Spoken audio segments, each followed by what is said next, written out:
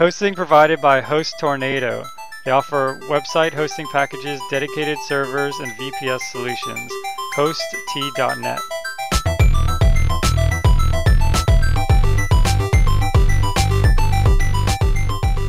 Programming Throwdown, episode number 7, Objective C. Take it away, Jason. Hey, so I'm biking to work now, which is uh, just pretty awesome. I actually I didn't know if I was going to, you know, like it because uh, you know I like the exercise, but then there's this whole, you know, you get to work a little bit later. I mean, it might take you like an hour to bike five miles or something, right? So um, you spend a lot of time on the bike, and you kind of have to, you know, shower afterwards and stuff like that. You are such But, an uh, overachiever. I, I'm just saying it. Showering is an overachievement. What does it say about you? No, riding your bike. no, Thank it's you. but it's super fun. You know, you get to feel there's something weird like there's something invigorating about like Almost dying. literally just taking yourself to work. Oh. Yeah, well that too.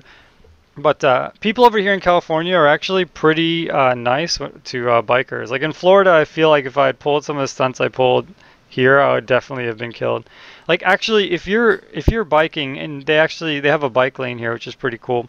But if you're biking in the bike lane, which is on the right side, and you need to make a left turn, you can just swing over to the left lane and take up a whole car lane, you know, until the turn signal goes, and then, you know, take make the left turn and then swing back out to the bike lane. Yeah. And this only works because everyone's in on it. Like the cars know you're gonna do it, you know you're gonna do it. You stick your arm out. Make sure to do your hand signal. Yeah, we used to have to do that when I was at school and you know going to university. That was how it was.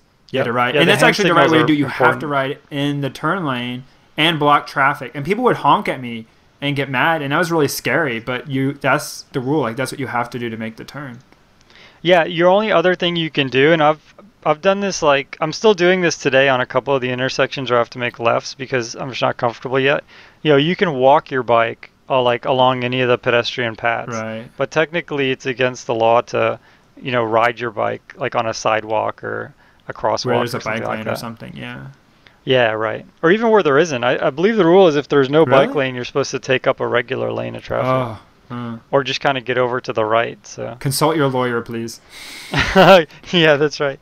But uh, like it's it's actually it's a lot of fun, and uh, you get some exercise, and um, That's awesome, dude. Kind of digging I, I could use a lot more exercise too, but uh, I'm glad you're getting. Hopefully, you'll just get enough for the both of us. okay. The one thing about it, though, at least you know up until now, maybe I'll actually build muscle, but as long as I'm still kind of like indistinguishable from a skeleton, I uh, I'm I'm like perpetually sore. Like every Aw. day I'm sore because so you know you have this like you know eight mile bike ride or whatever. So even if you don't work out, you're gonna be sore. So. So what I want you Um, to do is mount the camera to the front of your bike, ride the bike. So then uh, you can upload that video to me, and then I'll ride my stationary bike. Okay, I'm like, Okay. I'll sit on my couch and watch you bike to work. Oh man, I'm totally gonna call. Uh, let's just say somebody I know who may or may not be in my family, um, and I have no brothers and sisters, would uh, uh, watch Sweatin' to the Oldies, and uh, just like sit on the couch eating like Cheetos. And uh, the guy, what's his name? Richard Simmons, right? Yeah, yeah, yeah. Richard Simmons is like, "You're doing great, honey. You're doing great." She's just like More sitting there like eating. Cheetos. yeah, keep going.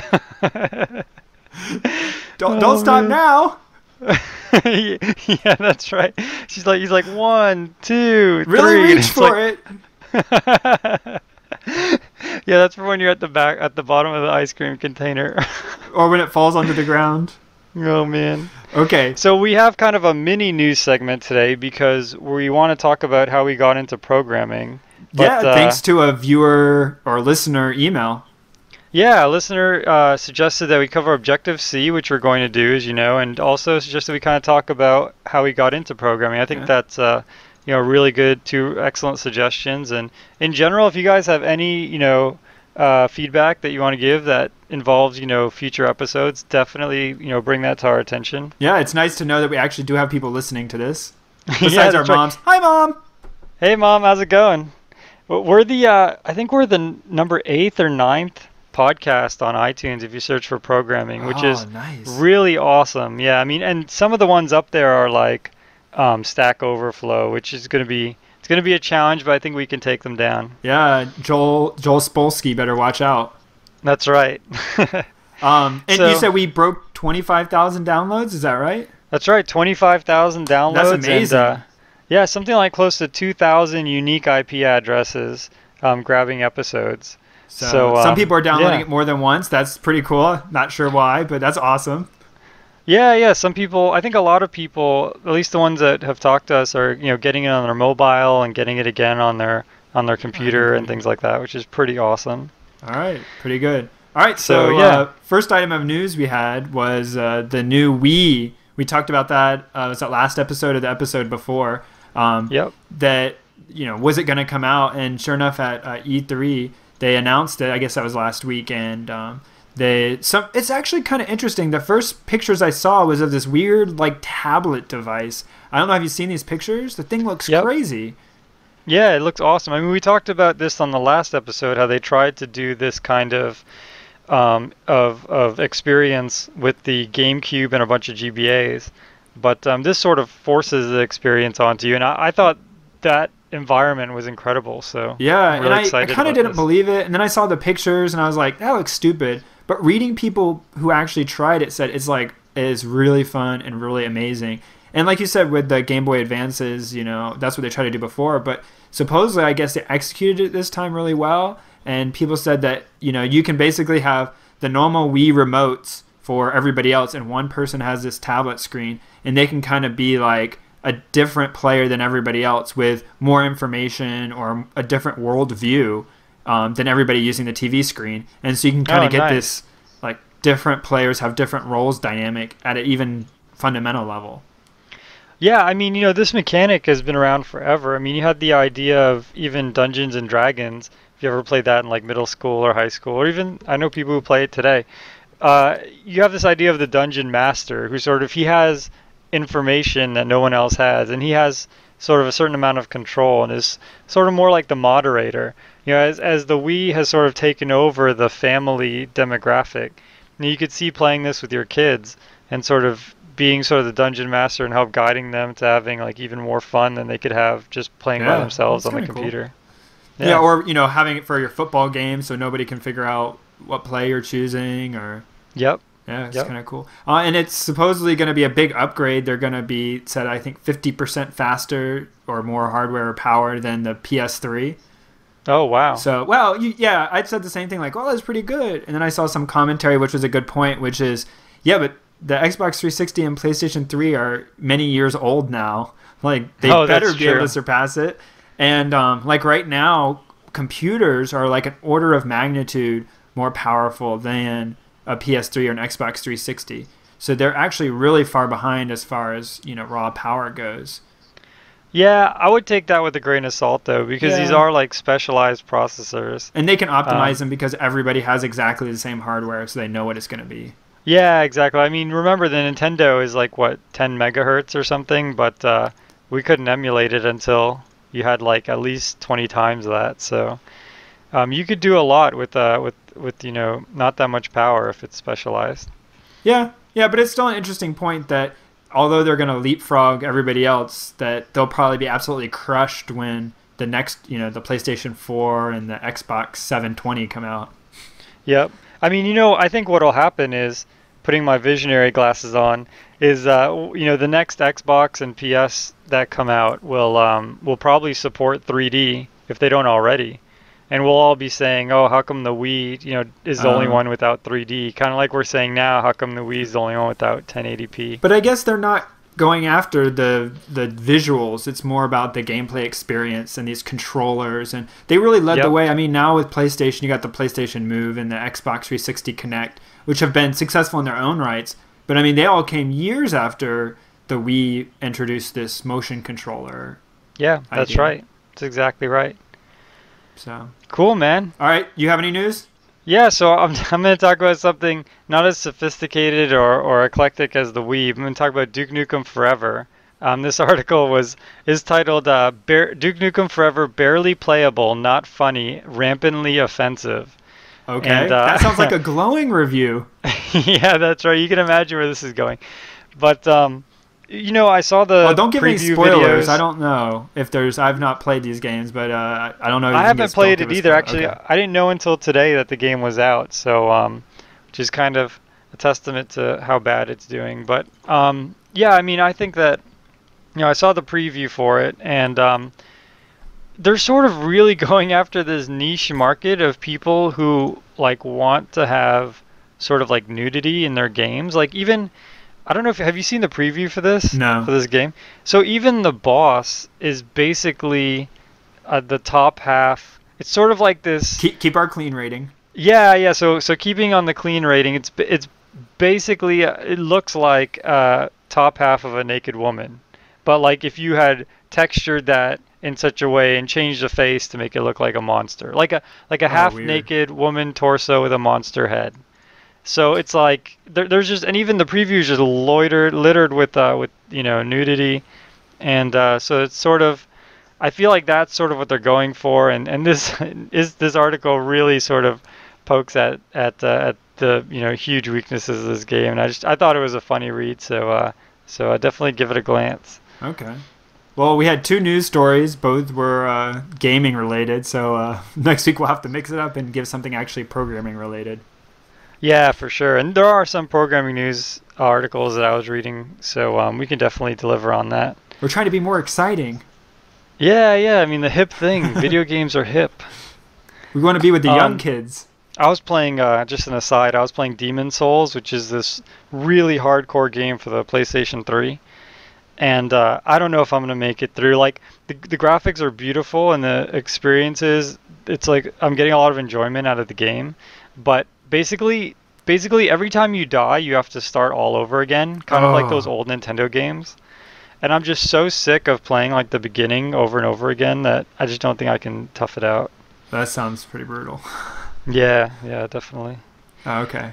All right. So, So, uh, go oh, ahead. go ahead. no. All right. So um, we were going to talk a little bit about um, kind of the reasons we got into programming and, and some of our early days, and try to remember, clean out those cobwebs, and try to try to think about what it was like, and any sort of advice, I guess. So I guess I guess you go ahead and start it off. So how did you get into programming? Yeah, so I started programming really young. Actually, my I come from like a lot of computer science majors in my family, uh, my extended family especially. And so my cousins were kind of teaching me how to program, and they were teaching me basic and, you know, how you do like print your name, go to 10, and it would just Yep, spam yep. your name on I, the I screen. remember that and- one. You're like, oh, Yeah, I so- crashed it with my name. It's awesome. I know it's like it's like and so it's it's sort of like it's like there was nothing and then I created my name like an infinite number of times or, or just a really large number of times. And so that idea of being able to create something from nothing has sort of like pervaded um, all of my interests in programming thus far. Like I've worked on this uh, Underworld Hockey Club, this video game that I made from scratch, and I really wanted to see a hockey game with physics, where when you body check the person, there's some physics engine running. And it was kind of funny, and just another aside, I uh, was looking at video games at Target the other day, and NHL 2011 came, has come out, and on the back back of the box it says new physics simulation, like every hit is unique. And I was just thinking to myself, it's so funny because I did that in like 2008. and so that idea where You should sue him. one, yeah, that's right. I'm No, gonna I'm sue the. I'm Don't gonna sue that. Sony too because I'm thinking of the PlayStation 4 right now. Oh no, Um, you're in trouble. um, but yeah, the idea that one person just you know in their in their basement can uh, can create something that usually takes you know a whole team of people or can change the entire world, can create a project that's downloaded or used by hundreds or even thousands of people.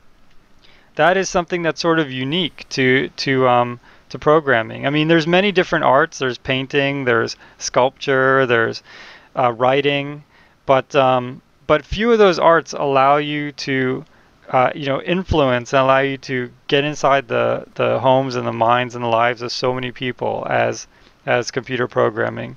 I mean, you could write an iPhone app for. I was talking to somebody today who wrote an iPhone app for deer hunting. It's like the number two or number three app. Like every deer hunter wants needs this app, and even people who don't like deer hunting for some reason they're fascinated. it's with like a deer collar or something. Uh, no, what it is, I guess it keeps track of like deer like migration or something, and Ah. also it you can it's sort of like a user-driven content. Like you can specify like if you know good places to hunt and places to hide where the deer are and stuff like that. Um, and but the idea that just Oh, so it's like spare Foursquare for the forest. yeah, it's pretty much. It's exactly it. I Just checked someone in at the deer stand. Someone in their spare time just made this app and it completely took off. And I think that Cool. you know, you can be like an amazing painter, but often you need different sponsors. You need to go to galleries. You need to, you know, get your foot in the door. And uh, you know, now with the internet, of course, all of that is changing. But definitely, when we were young, that was the case. Uh, but with computer programming, even back then, before you know the internet had really taken over and things like that, when we were very young, there was this notion that like one guy, like you'd play Pitfall for the Atari, and it was like made by this guy, like that guy made that whole experience. And you'd go to the movie theater, and there'd be a cast of hundreds of people to, to create a movie. So this idea that, that you have just this incredible power is sort of what got me into programming. And I think that happens even to today. I mean, what is the the story? I mean, I'm not completely familiar with the guy who wrote Minecraft, right? He was pretty much by himself until I mean, now he has a team, I think, but he spent a lot of time doing it, but he pretty much did it by himself, right? Yeah, I mean he worked on um, he worked on Wurm Online, which is sort of an MMO that was kind of trying to be like Minecraft. So it was an evolutionary process, but still, I mean he created Minecraft himself from scratch. Uh, I think his his online pseudonym is Notch. Okay, yeah, I that's forgot right. his real name, but um, think Markus real Persson. that's what it is. Yep. But yeah, so even today, one person can make a gigantic impact on the world with uh, programming. I mean, he made like hundreds of thousands of dollars selling his beta version of his game. Yeah, he made millions, I believe. Oh, millions. Oh, okay. I think so. Yeah. So what about you, Patrick? What made you get into programming? Yeah, so I, I guess a little similar. Um, my family, uh, even my immediate family, my father is, uh, does programming, so that always is kind of there. People always, you know, ask me, and uh, I share this story a lot, and I'll, I'll share it in a minute about kind of how my dad was at programming, because a lot of people um, know my dad and, and know that he programs and writes code and stuff, and uh, are kind of familiar with that. So they ask me how how that was growing up with that, and I mean it's hard to say. It's like one of those things you you don't know growing up another way how you would have been or if you would have been different. But you know, I feel Mhm. like uh, through his doing or through my mom or through some combination of just family that you always had this thing about solving problems. It wasn't just uh, you know the, the answer to something was never just told to you. It was always you know kind of asked as a form of a question. You kind of had to try to figure out yourself. And Yep. um, so that kind of solving puzzle aspect always you know led me to how do I get things done? How do I find answers? And uh, you know that eventually played well with the first few forays into computer programming. Similar, you know, writing some little basic thing that that you know just followed the tutorial and you know, oh look, it's printing out my name or it's converting a temperature or whatever. And it was just kind of cool to see it solving a problem to figure out how do I express this thing in my head for the computer to do. And even today, when I explain to other people about programming, um, a lot of people just look at me with the glossy-eyed stare, like I have no idea what you're talking about. But you know, this how how do you tell a computer to do something? You know, even something basic that humans can do really simply, like so, you know, one of the first things you learn in uh, you know classic academia about programming is sorting. And a human Yep. has like all these different ways they might sort something. But then if you say, well, how would you codify that? How would you write down a set of rules or steps, algorithm, to use a word, you know, that says how Mhm. you do that sorting of, you know, those those playing cards. And they kind of have to think about it and, you know, a lot of them, you know, have trouble even figuring that out. It's like, yeah, try doing that for like all sorts of problems all day long. You Yep. know? And to me that's exciting. It's like, oh, this is fun and uh, you work really hard trying to solve some little bit of code and then you know just get that excellent feeling of accomplishment even if nobody else appreciates what you just did um, and so once i got to that point i was hooked and Yep. uh, getting there was, was an interesting task and uh, I, I guess it was just influenced by the fact that even my grandfather um, did write code at one point and worked on uh, some software stuff that was you know pretty early on and so I, I guess kind of unique being as uh, fairly young as I am or and being a third generation programmer. Um, I guess that's that's a pretty good story. Not a lot of people have grandfathers who who who program computers. Yeah, it's ironic because my grandfather also worked on some of the first computers, like with the vacuum tubes and everything like that. oh really? that. So oh, so yeah. maybe so, I mean, there's maybe there's a there. genetic component to it. Maybe I don't know, but uh, yeah. So uh, not a lot of people can say that. So that's kind of a, a kind of badge of honor, I guess. In some ways, it's kind of cool that you can always say nerdy things and know somebody in your family gathering won't roll their eyes. Yeah, I feel like a lot of people, you know, a big part of problem solving is being able to, I guess to use your word, to codify uh, intuition. You know, I was playing uh, Professor Layton with my wife the other Oh day. Oh, yeah, Yeah, and it was one of those problems where it's like, you know, your brother is twice your age and your cousin is six years older than you and half your brother's age or something like that. You know, and Mhm, somehow mhm. like those you, you there's like a set of constraints that like and then it's like what's your age and the constraints are such that like your age has to be some exact number. right. And so I'm sitting here like writing formula and trying to, you know, figure it out and solving a system of equations. And my wife is just trying different numbers, like five. Oh, five didn't really work out. Five, you know, if I have five, then my brother's age is negative three. So let's try seven, you know. And and by the time I was done, she had already like solved it and moved on to the next question. But but oh, when I was story, done, Jason. yeah, I know. But when I was done, I had solutions for. I mean, I had the solution, but in a in a way that you know, like a computer could have solved. So in other words, I could have Give it written another a program. problem, you could have solved it in no Exactly. marginal time. Yeah, exactly. And so that's really the thing. A lot of people can solve problems, but being able to do this almost like meta task of writing a program to sort of solve an entire class of problems is is really super challenging. And I think that's one of the funnest parts of being a programmer. Yeah, it definitely is fun. And, you know, like you said, the sense of creating something, even if it's not something physical ish, like a game or art or music or whatever, but, you know, even just creating programs that run on the computer is, is kind of fun and exciting and building them up. It's kind of like Legos in a way. You know, you have all these small Yep. pieces and you build them into bigger structures. And there's a beauty that's hard for outsiders to understand, but it's kind of cool uh, if you if you know what's going on. Yeah, for sure, for sure. And then also being able to think when you see stuff in movies that are you know 3D graphics or video games or you know uh, jumbotrons, and you kind of know what goes into making those work because so much of today's society is uh, culture. I, I don't know what you say, but the so much of what we interact with every day has computers in it or has some sort of code running to help either generate it or run it or control it. And so, kind of knowing how that works is very powerful. Yeah, and I mean, my opinion might be biased, but I've always been under the presumption that everyone should know how to program. Like, even, I mean, not a specific language, it doesn't really matter, but just, you know, a program is basically a set of instructions with certain basic structures like control loops and, uh, you know, if decision statements. And just the idea of, you know, being able to describe what you want to do regardless of you could be whatever like a janitor or it doesn't matter but being able to describe what you do and how to do it in a, in a way that's programmatic i think is important to any discipline Yeah, yeah. yeah So, um, let's talk a little bit about our first kind of you know early experience. We talked a little bit about basic, but uh, I know like when I I first started, you know, I I did a little bit of basic stuff, but I never really got past you know just kind of messing around.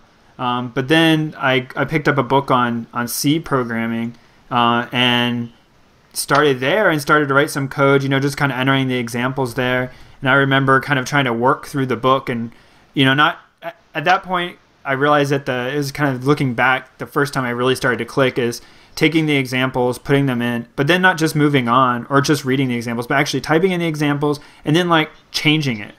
So I had, Yep. you know, for instance, like a program that converted Celsius to Fahrenheit. So I said, okay, well, let me make one that goes the other way, you know, Fahrenheit to Celsius, because it should be almost the same, right? You know, so Yeah. so making little tweaks like that and making it my own, and that really led to understanding. And so that's actually kind of where that funny story I was talking about earlier came from. So I was writing, you know, this program to do temperature conversion. So I was pretty excited that I had, you know, modified this example. You know, it was pretty dinky. I was pretty young, so I, I mm-hmm. you know, got my dad to come in, and I'm like, oh hey, look look what I wrote. I wrote this thing. It converts you know, Fahrenheit to Celsius. So I think he, you know, is like, oh, that's that's interesting. Let me see. And so he types in, you know, some some temperature and it converts and he's like oh okay then the very next thing he does is he you know goes negative 999999999999999 he just keeps typing nines for a while and then pushes enter and it crashed and he goes oh your program's broken you need to fix it oh that's so harsh so oh my God. another thing that i learned quickly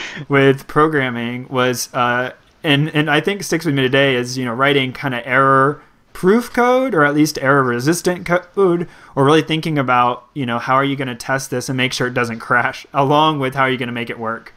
Yeah that's that's funny man. That's intense. So needless to say today i'm really good at breaking other people's code um, people always bring code to me and say this is ready you know hey can you test it out for me and i say yes i would love to and pretty much within a matter of minutes or seconds i have it crashed oh nice yeah, for me, historically, I, I started off actually writing. I did a lot of writing when I was when I was really young, and uh, like I, writing you know, books, comics, yeah, poems.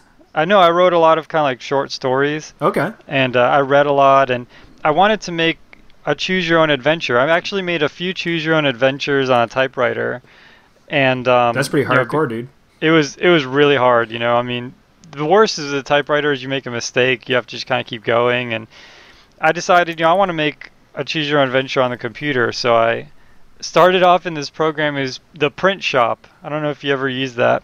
I made Yeah, I like think reading so. cards and stuff. Yeah. So I somehow oh I made like a set of I used the print shop and made like a set of greeting cards and it was like go to page three or whatever. it was pretty epic. I still have it actually. I, I was going through my stuff and I found it. It's called it was called uh, the race that never ends and it was like eight pages. um, I think I've seen so this then, uh, before. if you want the if you want the intelligence test, turn this paper over. If you want to see the Yeah. intelligence test, turn this paper over. It just says on it both sides. Okay, sorry. it was so funny because it was like, do you want to go left or right? You know, and it was like, do you want to go left down the dirt road or right on the ocean? And if you go left, you die. But like, there's no context. It's like you just died. So you shouldn't have picked the dirt road, dummy. So did But you get then, uh, inspired to do that from playing like Zork or another Oh. text-based adventure? so kind of a a weird story. My parents did a lot of like shopping and like garage sale, flea market, that kind of thing. Like that was a common like family outing. And this one flea market, this guy had the Fighting Fantasy. Have you ever heard of these books?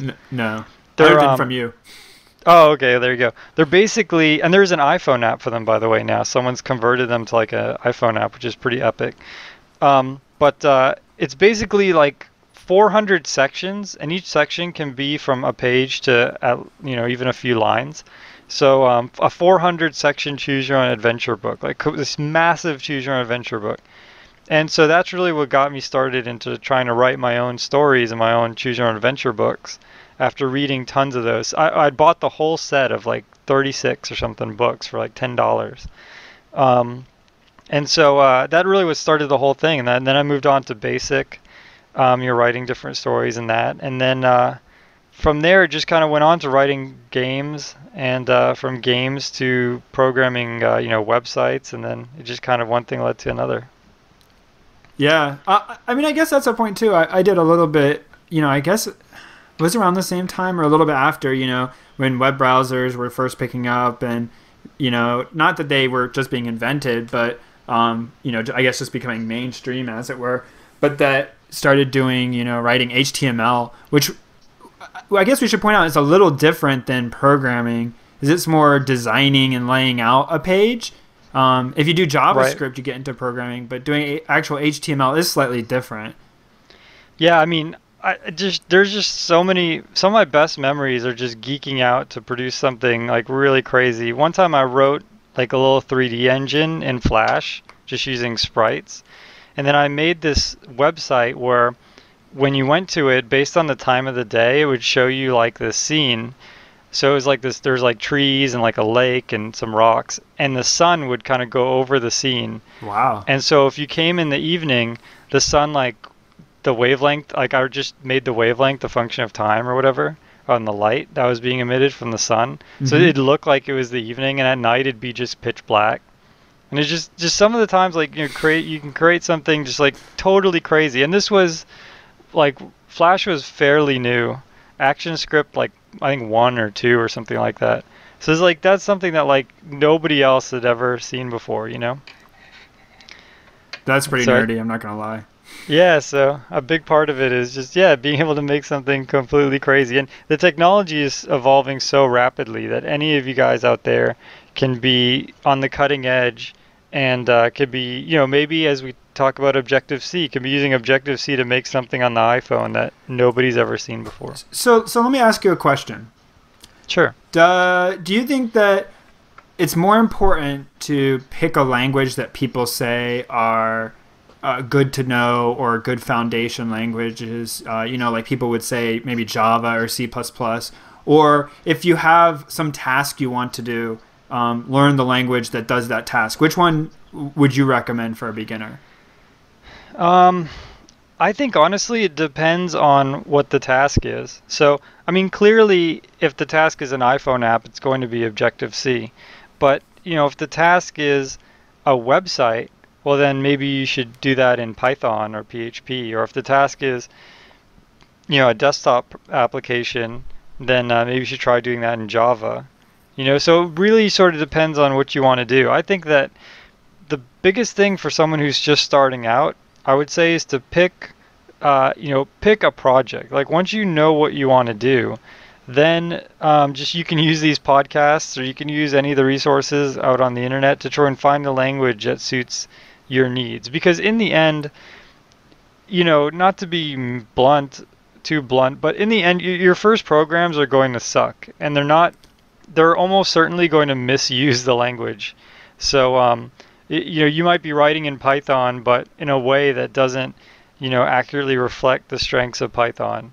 Or, or this and, and this is this this happened to all of us. You know, I wrote a uh, I wrote this beat 'em up, kind of like this Double Dragon beat 'em up game MMO that you could play in a Java applet, and it was terrible. I just I used all these different multi-processing libraries that I didn't have to do any of that for, and just the whole thing was that the architecture is a nightmare. But I learned a lot, and I think that those lessons can be gained in really any language. So if your project is web based, you know, if, if, if it's an applet, use Java uh, or Flash.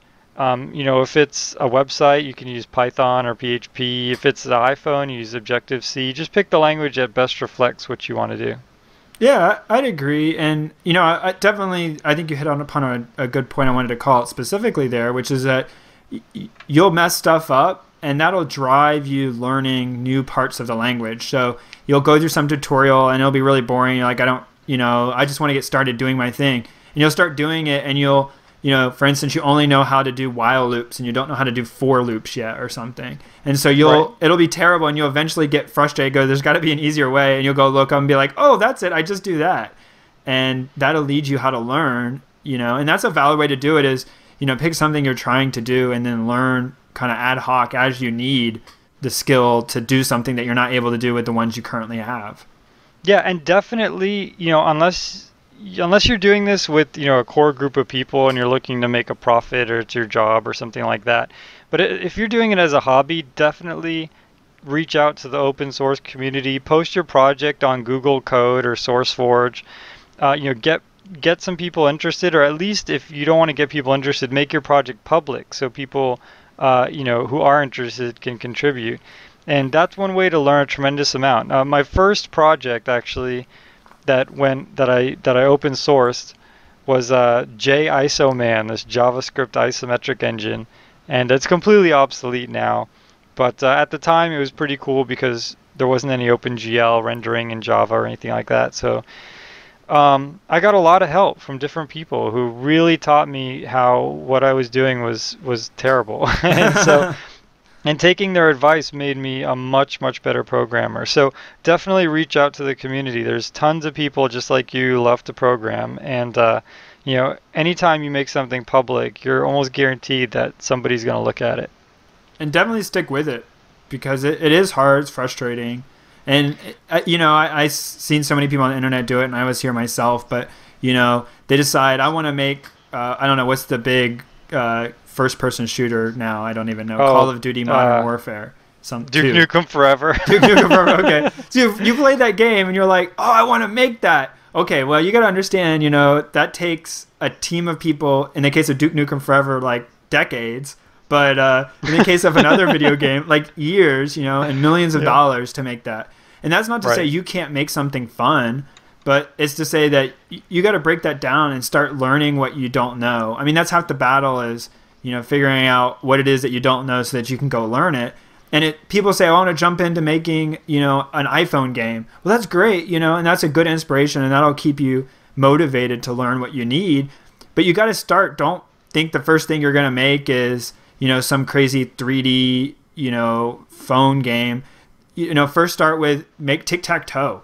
And it sounds Yep. stupid, but figure out how to do it because it'll teach you a lot. It'll teach you how to interact with the screen. It'll teach you how to detect an end game, like the game has ended, how to start it over, how to have a game loop. I mean, you'll learn tons of stuff just writing tic tac toe. Say, okay, I'm done with that. All right, write Hangman, write Snake, the you know little snake that moves around the screen and eats apples or whatever. And Yep. uh, doing that will begin to teach you things, and each one being more advanced will will make you learn stuff. But kind of go through that because that. It, if you try to skip to the end, you're just going to get frustrated and give up.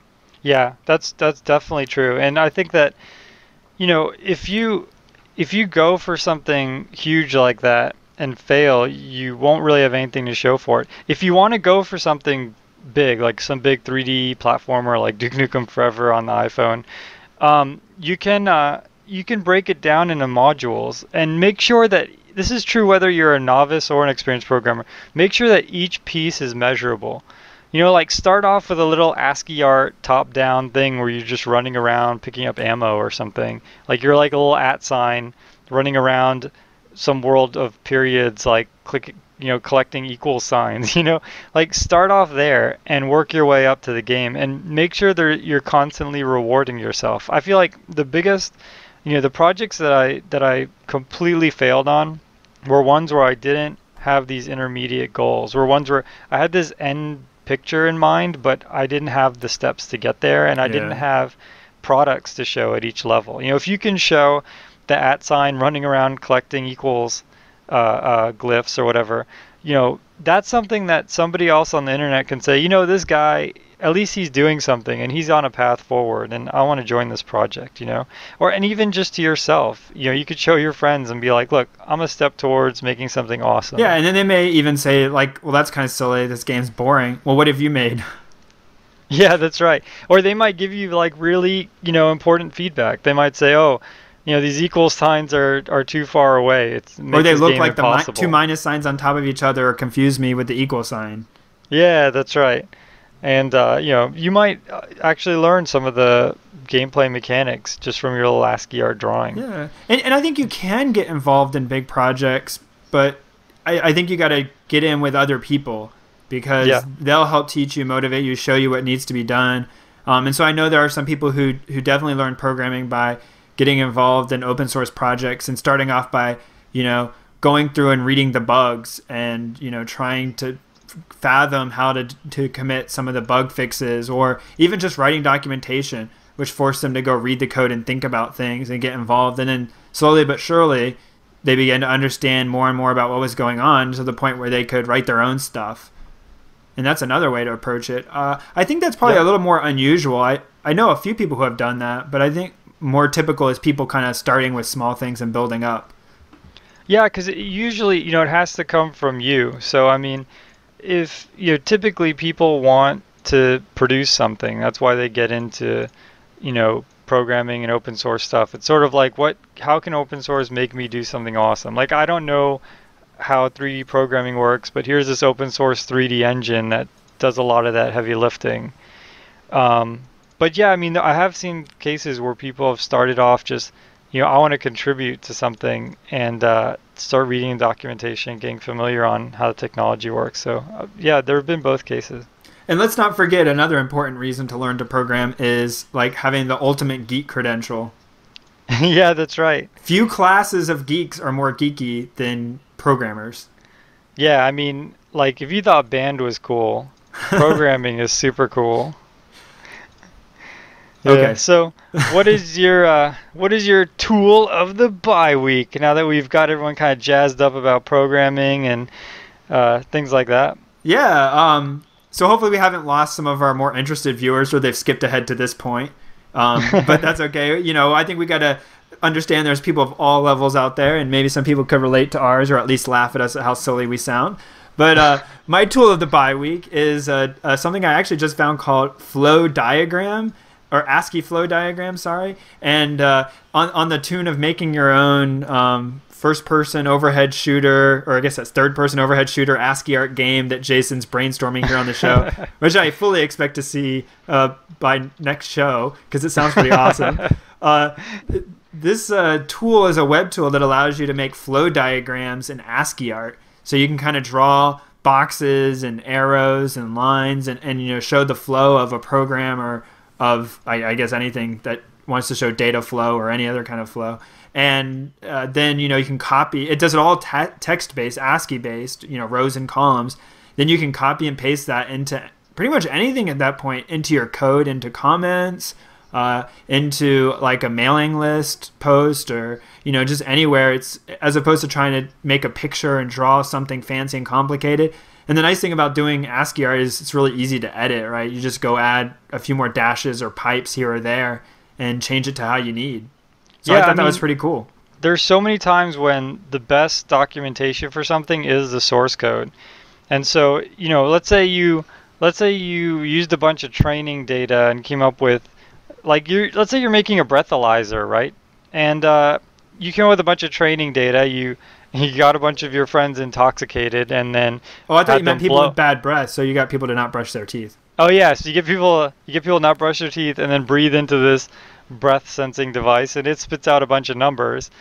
And you know, using the different numbers it spit out in your friends testing uh, you know mouths, you develop trusting data and uh, come up with some equations. And you did all this stuff behind the scenes on your TI calculator or whatever.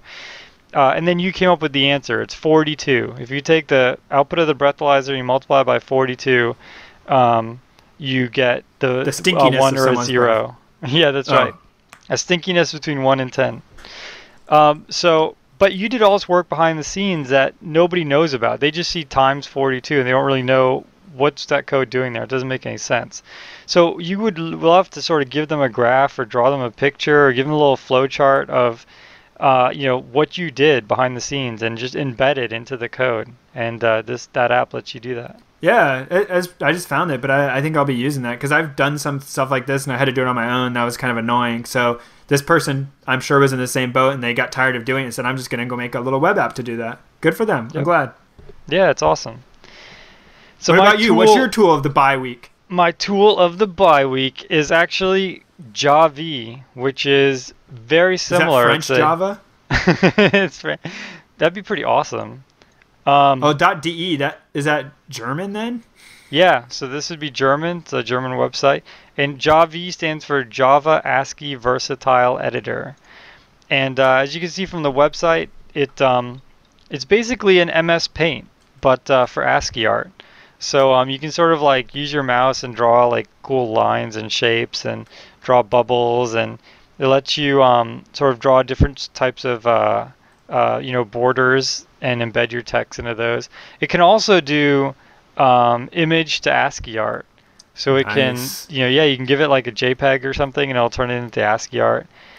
Um, and so this is the same kind of thing where like you can wrap a comment block. You can, let's say, for example, you have a bunch of graphs. You can export the graphs like a PNG from Excel or from OpenOffice. Uh, you can import that PNG into ASCII art using JavE, and then you can copy paste that ASCII art um, chart into your code. I am totally gonna do this to all of my programs at work now. Yeah, I'm just gonna get like random pictures of like logos and of just graphs of data and like paste them into my code, and people will just be like, "This is amazing." I know. I've been getting just kind of beat down in uh, on my new job on uh, some peer reviews because I just kind of not. I don't really have the style completely down, and uh, maybe what I'll do is I'll take like some horrible picture off the internet. I'll take and render it as Oh, ASCII art, and, and there goes the clean right. Eh, the clean rating just went pew. Uh, no, but you can you can have a lot of fun with this, and you can also be pretty productive with it. Uh, it's actually quite useful for capturing that metadata. So both of these tools, I think, are fantastic additions to your programming toolbox. And they're themed this week. That's right. The past couple of weeks, we've had we've had a theme. I this believe. is good. Yeah, yeah. That one time, I still have to buy that Thing-O-Matic. I think that's what it was called, right? I'm trying to save up enough paychecks or there's, there's a lot of paychecks to save up. It's like a Yeah, grand, right? Oh no, is it? I thought it was like three hundred dollars or something. Uh, I don't think so. Yeah, I um I have direct deposit and direct withdrawal, so it's like just like all that's left are these tiny increments. oh man, the Thing-O-Matic is expensive. So we studied this in school. Money in, less money out means more in your bank account. Well, that kind of rhymed. That was awesome. Um, you got to reduce your expenses, and then you can. Okay, sorry. Yeah, it's true. This is not Maybe I need to stop podcast buying. for that. I need to stop buying bikes. uh, Okay. So, uh, So talk Objective about- C. That's right, Objective C. Now Uh, let's just go ahead and address the three thousand pound elephant gorilla hybrid in the room, okay. which is the fact that uh, Objective C is is all the new rage uh, because of basically one slash two devices, which are the iPhone and now the iPad. So Apple Apple has kind of a history, which I guess we'll talk about in a few minutes about uh, of using Objective C, and because of the the increasing popularity of iOS devices, I guess as they're known, and Objective C being pretty much the de facto standard of what you have to program in. Um, and because of that, they've had this kind of resurgence of popularity that they probably didn't even ever have before. And so everybody's wanting to learn Objective C because it is the enabling technology to be able to you to write the next great Angry Birds. That's right. Yeah, so uh, do you know anything about the history of Objective C? Uh, so the way I, I understand it is that I guess it was originally written as a preprocessor for C, similar to wh- which we haven't talked yet about C++, but um, C++ has a similar background where originally people were using C and some other languages like Smalltalk started to come out and introduce these object-oriented concepts and Objective C was one effort to try to give C object oriented support. And they did that by, instead of writing a whole new language compiler, as it were, they wrote kind of an extension of the language, which did become a whole new language that compiled not to machine code or assembly like we talked about last time, but C code. And then you could use your normal existing, in theory, really good C compilers to generate machine code. And that mm-hmm. was adopted by uh, Steve Jobs' small company that he founded uh, when he first left Apple, which was uh, what, NeXT. Right. Yep.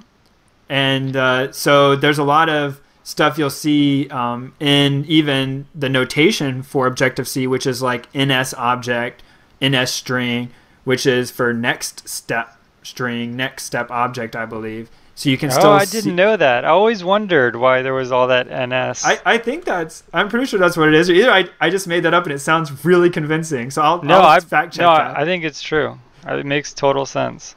So that's kind of the history. So what is it? What is it kind of? We talked about what its you know popularity today is for, but what was it good for? What is what is the reason it exists? Yeah, so um, this is sort of a point of contention, right? Because a lot of people would say the reason why it exists is because it's what you have to write in to uh, program for the iPhone. But it does have some some some strengths that you know sort of separate Objective C from a lot of other languages. Uh, many of them are sort of more geared on sort of enterprise writing, you know, safer code um, and increasing productivity. So one is that Objective C is both dynamically and statically typed.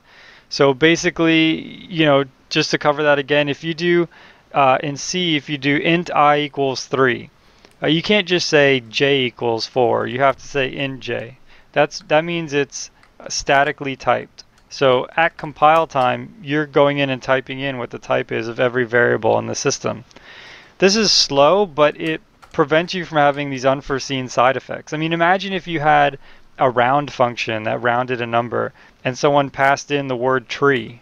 Yeah, your round function it either has to be smart enough to handle what you know to to hand to do something when you when you give it tree, or it's just your whole program is going to crash. So uh, statically typed language like C is safer in the sense that you know what's coming in and going out of all of your functions. And so you don't have to handle all these weird corner cases. And that prevents errors at runtime. Um, on the contrast, dynamically typed languages like Python, uh, they don't have a type. So you just say j equals 4, and then your very next line could be j equals apple, and it handles it just fine. It's just behind the scenes it's going and figuring out what j is at runtime and changing that.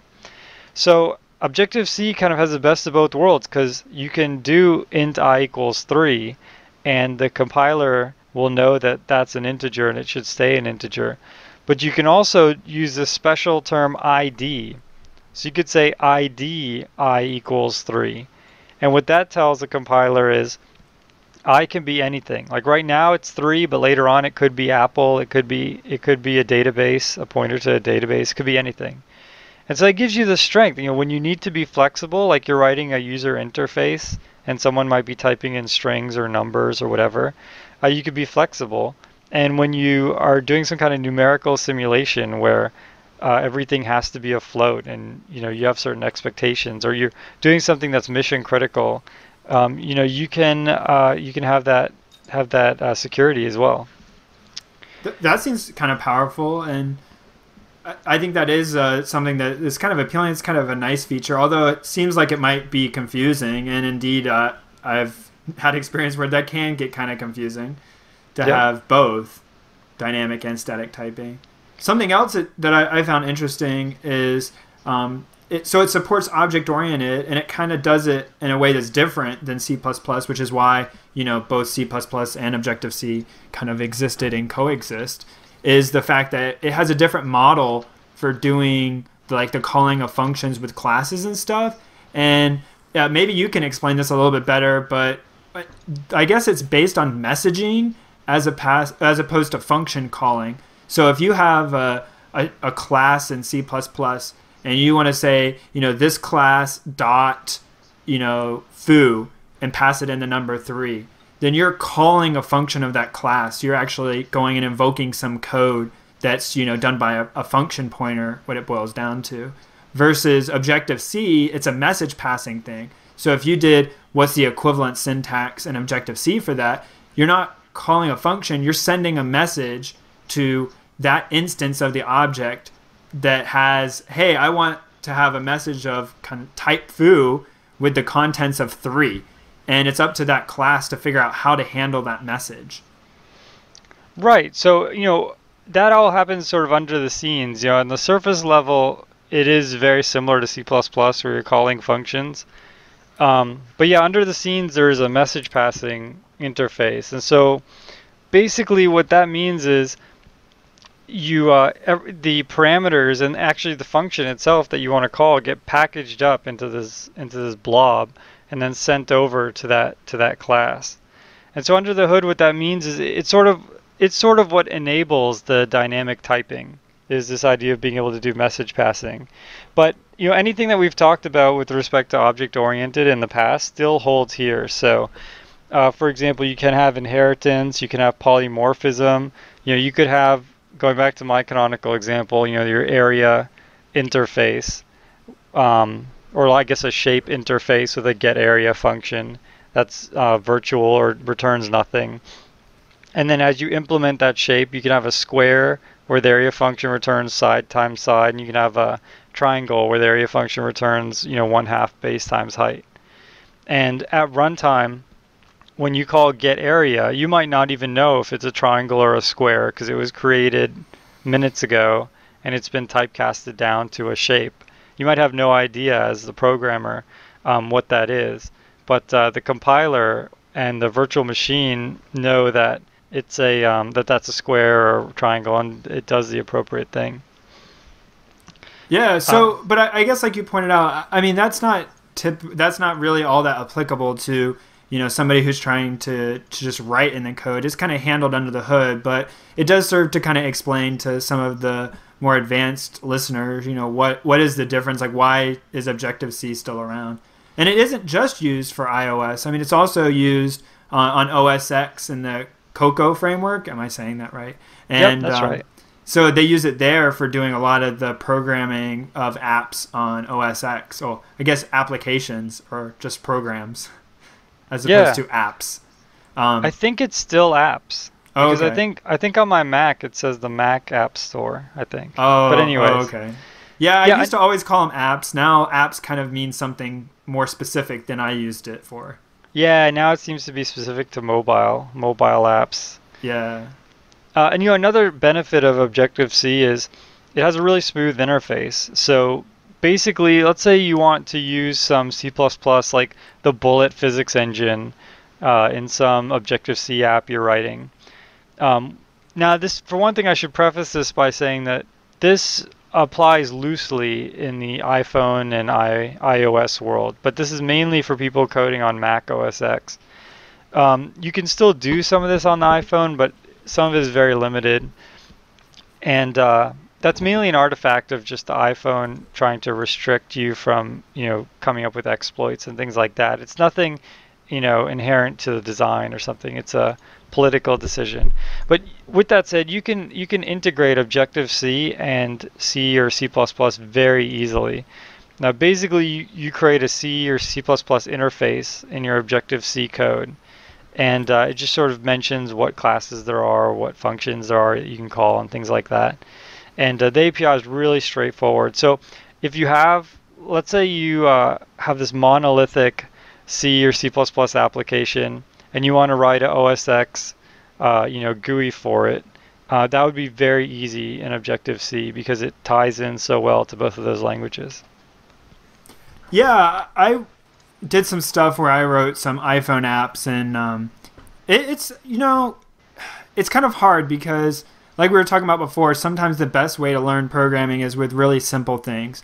And you kind of have to do a lot before you even get the, you know, first program up and running on like an iPhone or, you know, I'm, I'm sure it's pretty similar on OS X or even, you know, just the most basic C program is still, you know, probably like 10 or 11 lines of stuff you have to type versus just a simple one line, you know, print in Python.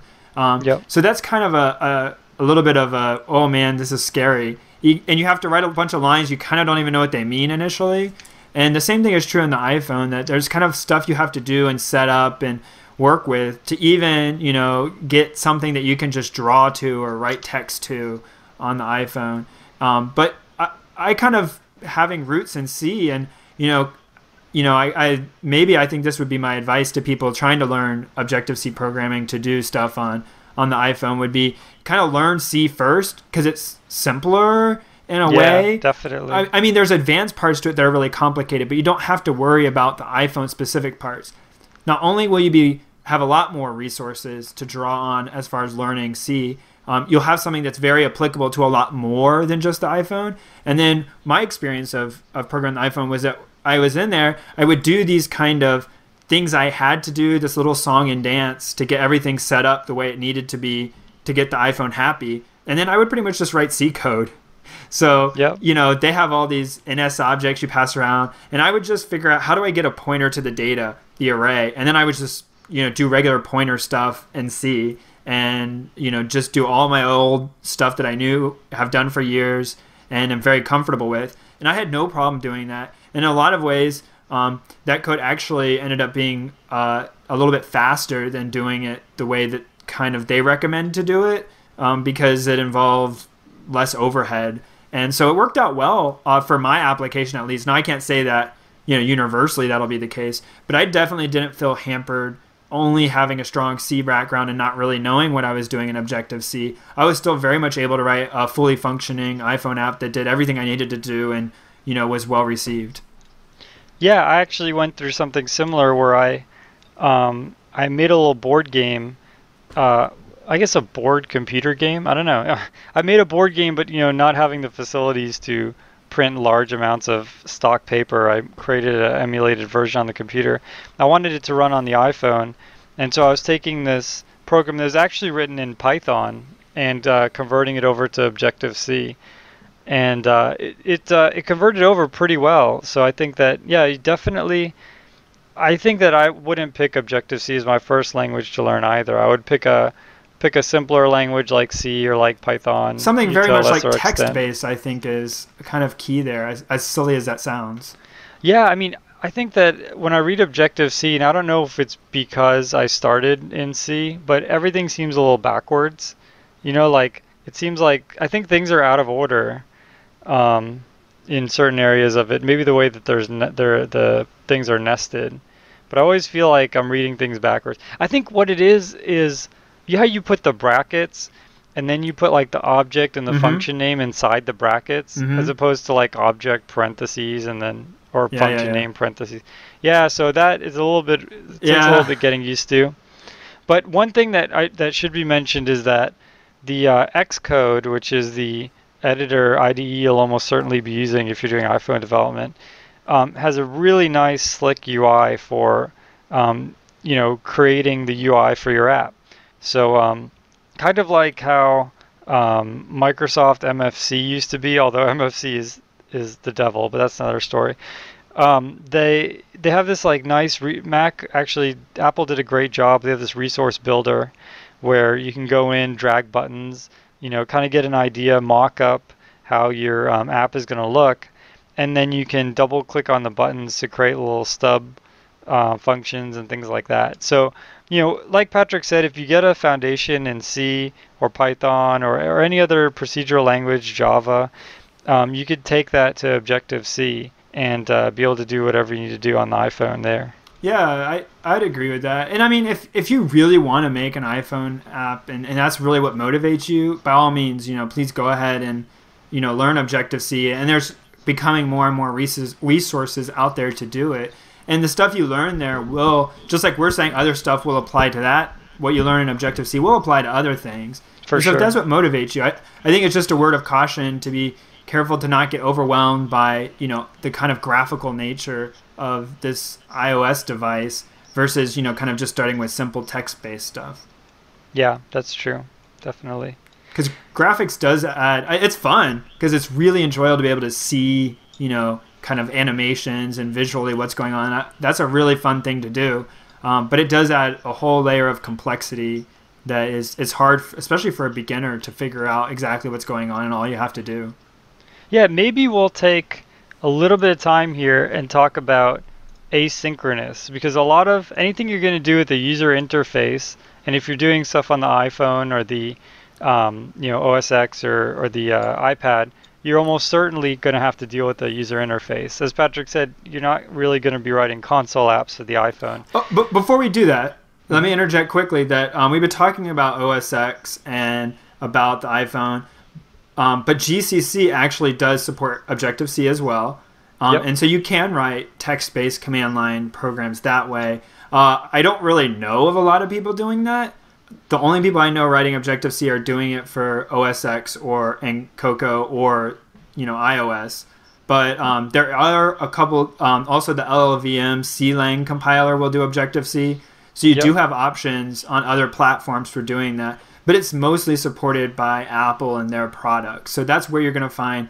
I would dare to even say probably 99% of Objective C development. Yeah, for sure. Yeah, okay, so- sorry. So No, it's fine. asynchronous. So asynchronicity is something you have to worry about whenever you have a user interface. And basically, you might have wondered this. You know, I write this program, and somewhere along the line, it has a set of instructions, and then when that instruction finishes, my program ends. So how can I write something like a user interface where it's kind of waiting on the user? So you might think of, well, I'll just do kind of like a while true around my entire program. And this while true will just continue to loop and sort of wait for the user to do something. And when the user does something, then there'll be some kind of action. And this is basically the heart of, of asynchronous programming. So what's going on here is um, basically you have sort of a while true. So, so you have some loop that's constantly running. But then within that loop, it sort of asks a series of questions. And so these questions are getting asked, you know, hundreds, maybe thousands of times a second, maybe even more than that. So the questions might be, you know, has the user clicked on a button? Has the user moved the mouse? Has the user done anything? Maybe there's an idle function, you know, has a second of time gone by? There's just a series of questions. Now all this is going on behind the scenes. You don't see any of this code. But if the user has, let's say, moved the mouse, then look for any, you know, mouse moved functions in the code. And by look for it, what I mean is actually you tell the uh, um, operating system, or in this case, you tell the application layer. Yeah, called registering.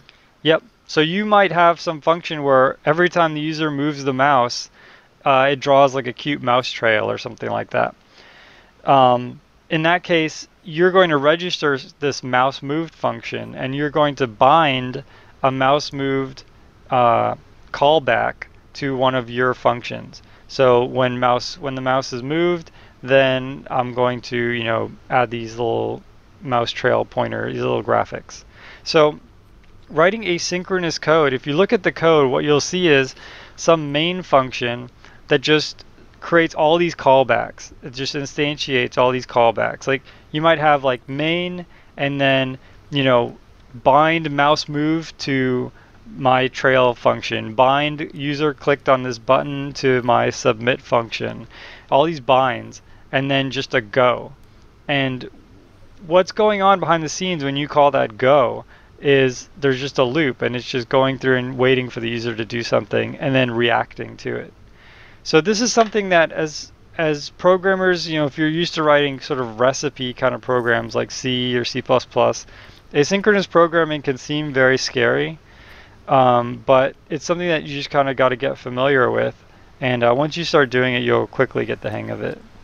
The other thing that's that's confusing there that is worth pointing out is that if you kind of think about so asynchronous, you know, just means not everything being synchronized and in lockstep. So if you read a normal C program, it's everything is, is operates one after the other, and you can follow a line of execution straight through your program or if you've got a loop, you know, you can follow it through each cycle of the loop and then to the end of the program, um, or whatever it means. But it's kind of everything one right after the other. When asynchronous comes in, you don't know which parts of your code are going to operate in which order, which is because you bind these functions to certain events and you don't know which one might get called before another, and they can be called while you're off doing something else. And so that introduces a kind of confusing thing to your code where you can't just read it like a book uh, and the other thing is that you have to be careful because what happens is is there's a thread of execution that is you know responsible for drawing all the stuff on your screen. And so if somebody clicks a button, and in that button event handler, you try to do some complex math like you try to solve the meaning of the universe. Uh, what's going to happen is during that time, the user is going to ha- not be able to get a response out of your GUI the buttons right. won't highlight when you move over them. They won't be able to resize a window. And if you've ever seen this happen in a program, that's typically what the problem is. Something's gotten stuck somewhere doing a bunch of processing it wasn't supposed to do in that thread, and now you're not getting a response out of the GUI. So the right way to handle that is in the message hand well, handle it in the handler is to push that work to another thread or to some other something that's going to do that processing that's going to take longer so that that function can return and the GUI can continue to be updated so that the user maintains responsiveness. Right. So one thing I probably should mention, you know, in addition to in that while loop that I talked about before, where it's checking to see did the user click a button, did the user move the mouse, etc. There's also uh, what Patrick's alluding to, a draw the screen, and and as he's saying, if you interrupt that while loop, if you halt that while loop by you know solving the meaning of the universe, it can't get to that draw the screen, draw the screen. You know, the user move the mouse, draw the screen, draw the new mouse. It can't do any of that. And so a lot of asynchronous programs will, if you have a threading library, they'll say, okay, you clicked on this button to submit your information to the website. While I'm contacting the website and submitting the information, etc., uh, let's push that off onto a separate thread so that this main thread can continue running. Or let's break this up into pieces. So if you click on, you know, create graph, and it's going to take all this data that you've put into your phone. Uh, it's kind of like Excel. It's going to, you know, fit a curve to your data and display it on screen for you to do whatever with. Uh, it might break that up into pieces, and it might say, you know, draw the curve, and then the next time it goes through the loop, uh, you know, find some data. The next time it goes through the loop, fit the data to the curve. And so every time you're going through the loop, you're checking did the user move the mouse, you're drawing the screen, and then you're doing just a little bit of work. And so the GUI is actually being halted, but by such a tiny amount that nobody can notice. So these are often the core features you see in asynchronous programming. But uh, GUI code is definitely more confusing to read than normal synchronous code. Yeah, because of these sure. facts. Right. And uh, internet code is is even harder because yeah. you typically have hundreds, maybe thousands of users all using the same thing at the same time. Yeah, which uh, will lead to maybe some stuff we'll talk about in the future, some interesting new directions people are going in web servers and how to handle large numbers of users uh, from one one program. Yeah, definitely. We should definitely get into some more uh, internet topics in the future. Yeah, so. those are very applicable, and I think a lot of people are out there doing that. And uh, you know, we should be careful that you know, when talking about learning to program, which I guess we kind of got off of when we were on Objective C, but that you know, a lot of people will kind of uh, fuss at you about your choice. Oh, I can't believe you learned BASIC, or I can't believe you learned PHP. That's not a real programming language. Uh, sometimes I find that those people tend to be the people that don't know what they're doing. and so yep. they're just saying that because they're ignorant and That's and true. they're threatened or, you know, whatever it is. It's kind of like the people that make fun of you in school, you know, remember those people? It typically because they had some sort of huge flaw themselves and they were trying to cover it up by making fun of everybody else. Uh, yeah, I mean, so, so never be so, embarrassed by your choice. It's so interesting how, you know, often like you're saying, the people who are the most despondent are the people who it's typically that they just don't they cannot see the benefit of whatever they're you know making fun of but the fact is that all of these languages that we've talked about until now and likely all the ones we're going to talk about unless we really start running out of languages are are very popular and they have an incredible amount of utility so um, it's, yeah, it's all about picking the right tool for the right job that's right and if you're so writing ios programs that's Objective C. That's definitely the right tool for sure. So we talked about a lot of the strengths, but maybe we should cover some of the weaknesses of Objective C. We we kind of been hinting around the first one that I have, which is Yep. that outside of these uses, I, nobody really uses Objective C for anything. In fact, um, if I if I understand correctly, Apple kind of released the second version of Objective C language or the C compile Objective C compiler, or however you want to phrase it, kind of the upgrade. And that's not even supported by anybody else. Like GCC and Objective C don't support those language features um, Yep. because there's just not enough people interested in using this outside of the OS X iOS environment. Yeah, that's right.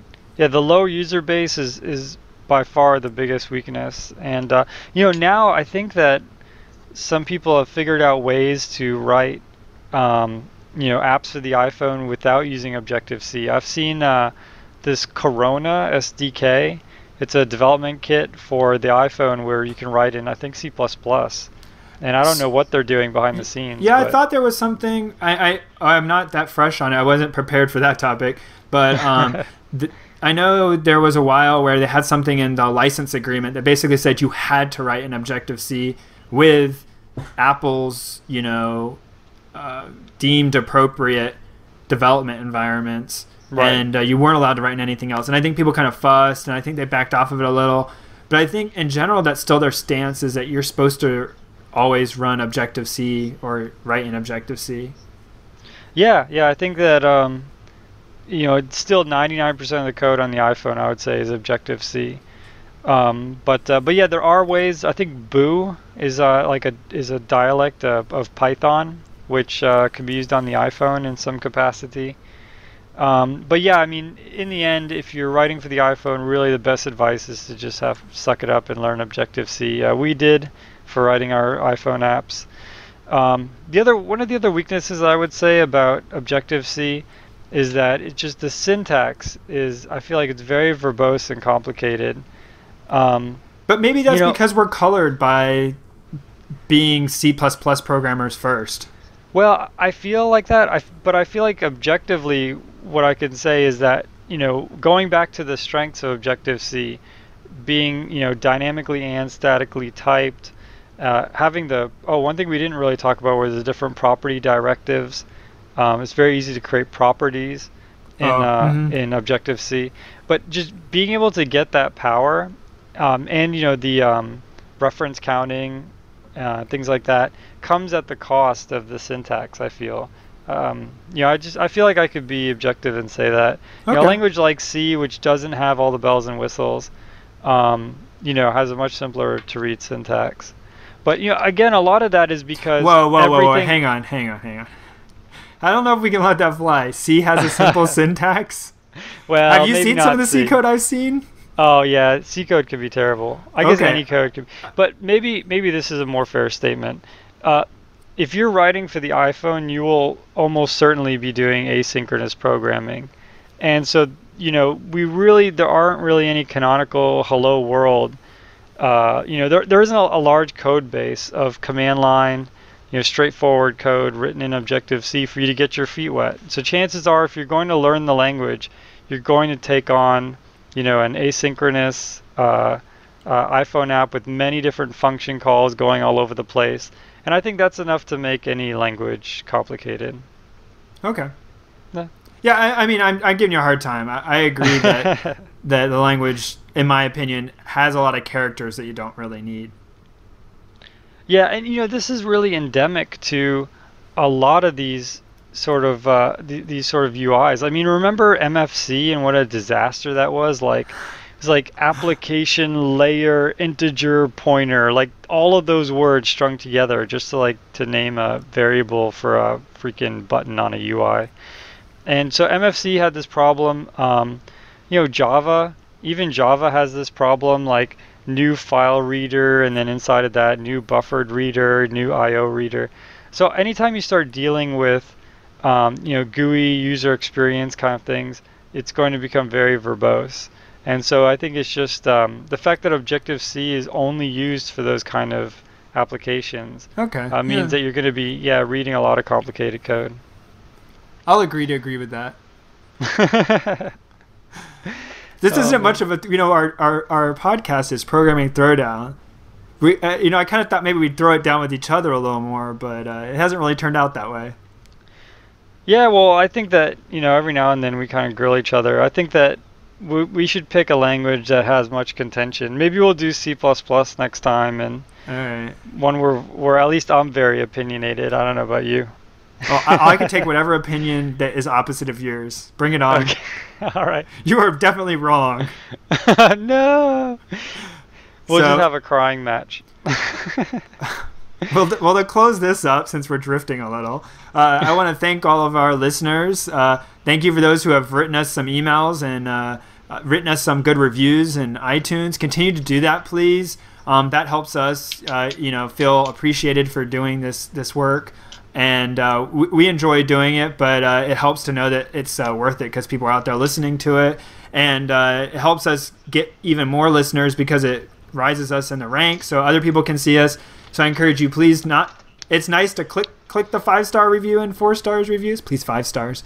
And uh, but it's it's even nicer if you can write a little message and tell us what you like about it. Uh, and then if you have something you don't like so much, uh, just write the good things in the review and then send us an email. Uh, or post it on the blog, you know, your, your comments and critiques so we can uh, try to make things better and feel free to, uh, to to post on those. We do on our website programmingthrowdown.blogspot.com.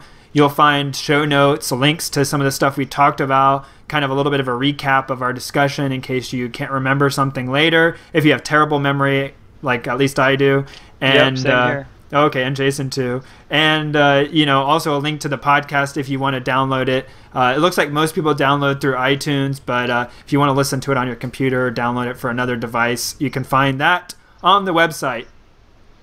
Yeah, and I mean a shout out to uh, Weston for coming up with the both of the ideas for the show for why we decided to start programming and for Objective C. So definitely, if you have any comments or suggestions, uh, you know we do have our ears open, and uh, that was a particularly good one. So Yeah, can't promise that we'll uh, implement what you say or do it, but we'll definitely read it, we'll definitely listen to it, and we'll probably give you a shout out on the show.